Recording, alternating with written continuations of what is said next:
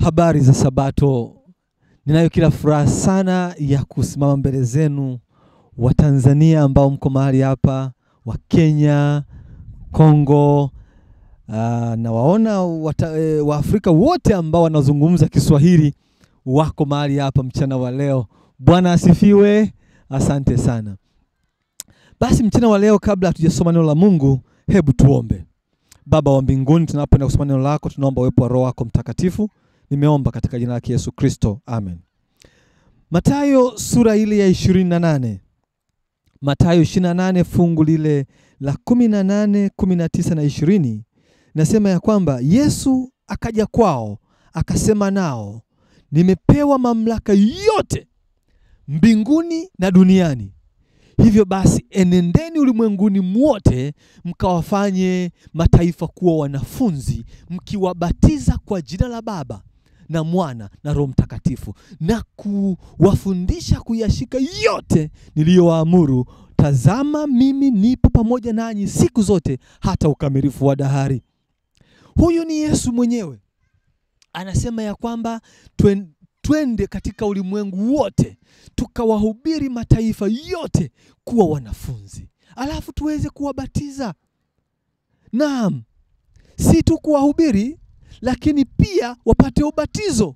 Lakini kabla ya kubatizwa, basi ni lazima kwanza waweze kuujua au waweze kumjua huyo Mwokozi wanayesikia habari zake na huyu mwokozi mwenyewe alipokuja hapa duniani, kitabu kile cha Mathayo sura ile ya tatu kinasema ya kwamba alikwenda akabatizwa, alikwenda akabatizwa katika mto wa Yordan. Naam, alimkuta Yohana Mbatizaji, na alipofika pale akamuuliza Yohana.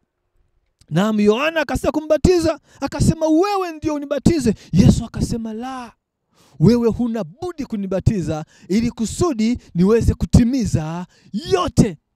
Kwa nini Yesu alibatizwa? Je, Yesu alifanya dhambi? Hapana, alibatizwa ili kuitimiza kweli yote, maana yeye ndiye kweli, njia na uzima, na mtu hawezi kuja kwa Baba isipokuwa kwa njia, na njia hiyo ni Yesu Kristo. Unaona jinsi mambo yalivyokwenda.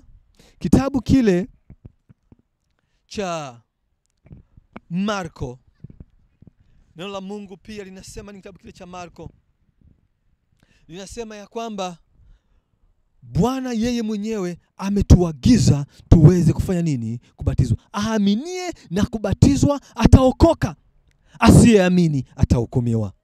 Kwa sababu hiyo basi, kumbe nikimwamini Kristo nikaupokea ubatizo, ubatizo wa kweli, ubatizo wa Bwana mwenyewe ambaye aliuagiza uweze kufanyika, na yeye mwenyewe akabatizwa katika huo, basi ninapata nini? Ninapata uzima wa milele, maana amesema aaminie na kubatizwa ataokoka. Neno la Mungu halikai kimya katika kitabu kile cha Yohana, Yohana sura ya nne, unakuta ya kwamba wanafunzi wakaanza kubishana wakasema ya kwamba Yohana anafanya wanafunzi wengi, maana anabatiza wengi kuliko wewe. Basi Yesu akawauliza wanafunzi wake ya kwamba je, wanaenda kinyume na sisi? Wakasema hapana, mafundisho ni yale yale, lakini yeye anabatiza wengi. Akasema ikiwa anazungumza sawasawa na sisi, sio kinyume chetu, basi huyo ni mwenzetu. Na kwa sababu hiyo basi wanafunzi wakaingiwa wivu ya kwamba mbona anabatiza wengi. Yesu akawaambia msiwe na wasiwasi. Hivyo Yesu akaendelea kubatiza. Naam, Yesu hakubatiza kama ubatizo, lakini alihubiri na wanafunzi ndio waliofanya ubatizo. Kitabu kile cha Yohana sura ya nne wao ndio waliobatiza wanafunzi, na kwa sababu hiyo basi ninapata ujasiri mwingi ya kwamba sina sababu ya kwenda kugombania kubatiza watu kama wachungaji waliowekewa mikono. La hasha! Kazi niliyopewa, agizo ambalo limepewa na Kristo ni kwenda na kuhubiri mataifa yote kuwa wanafunzi wa Yesu Kristo. Bwana asifiwe sana. Na kwa sababu hiyo basi wakishabatizwa wanaupata uzima wa milele, maana ndivyo ahadi ya Yesu Kristo wanapata kumjua Mungu, wanapata kuenenda katika kweli na uzima, na kwa sababu hiyo basi mtu yeyote hawezi kuja kwa Baba isipokuwa kwa njia, na njia hiyo ni Yesu Kristo. Leo duniani kuna maubatizo mengi sana. Watu wengine wanaweka moto alafu wanauruka moto, wanasema ya kwamba huo nao ni ubatizo. Wengine wanachukua bendera wanakupepea na upepo, wanasema huo nao ni ubatizo. Wengine wanakuja na mambo mengi ya ubatizo, wanasema huo nao ni ubatizo. Wanaandika barua, wanakupatia barua kwamba tayari umekwisha kubatizwa, lakini huo wote sio ubatizo. Ubatizo wa kweli ni ule mtu lazima aingie ndani ya maji mengi, kama ambavyo Kristo alipita katika mto wa Yordan, akaingia ndani ya maji mengi na akabatizwa na Yohana mwenyewe mbatizaji. Kitabu kile cha Romans chapter 6, Romans sura ya sita ukianzia fungu la kwanza mpaka fungu lile la sita, neno la Mungu linasema basi, je, tuenende basi tuendelee kutenda dhambi eti ya kwamba Kristo aendelee kuongeza neema? La hasha, kwa sababu Kristo alikwisha kufa mara moja tu. Kwa nini? Yeye aliposimama pale msalabani akatangaza ya kwamba imekwisha. Yeye alipozikwa na alipofuka siku ile ya tatu, huo ndio ubatizo wa kweli. Kwa sababu hiyo basi Leo unapoingia ndani ya maji mengi, unaposimama ndani ya maji mengi, unatangaza kufa na Kristo. Unapokuwa umeingizwa ndani ya maji mengi, unakuwa umezikwa pamoja na Kristo, na unapokuwa unatoka ndani ya maji mengi, basi wewe unafufuka pamoja na Kristo. Na kwa sababu hiyo basi, hauna budi kuendea huo ubatizo. Watu wengi leo wanaangaika sana kuvaa vitu shingoni kuvaa misalaba. Watu leo wanaangaika sana kuweka misalaba katika makaburi. Hizo ishara zote hazina uokovu.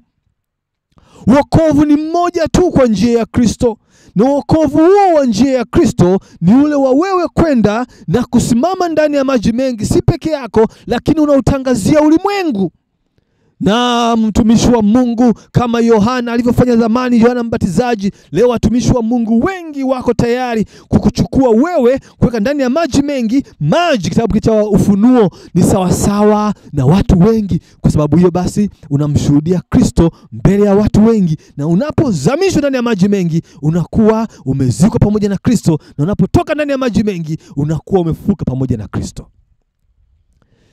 Neno la Mungu liko wazi linakutaka wewe na mimi tuweze kuchagua wokovu, tuweze kuendea wokovu, tuweze kumwendea Kristo ambaye ndiye kweli na uzima, na mtu hawezi kuja kwa Baba isipokuwa kwa njia, na njia hiyo ni Yesu Kristo.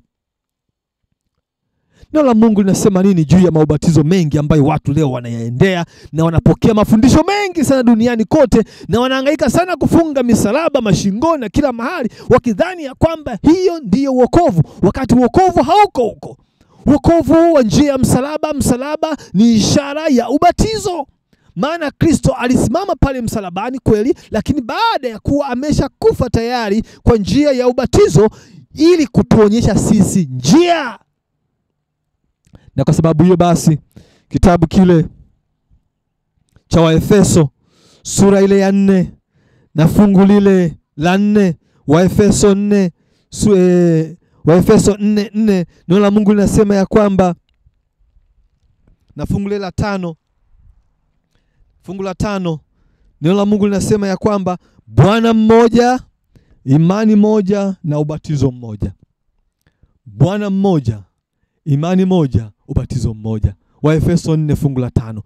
Kwa nini Bwana anakazania kutukumbusha kupitia barua hii kwa Waefeso ambayo Paulo aliandika ya kwamba ndugu zangu, Bwana ni mmoja? Ni kwa sababu watu walikwenda wakajifanyia mabwana wengi wakitafuta uokovu kwa njia nyingi, na kwa sababu hiyo tukakumbushwa ya kwamba Bwana ni mmoja na njia lazima iwe moja na ubatizo ni mmoja.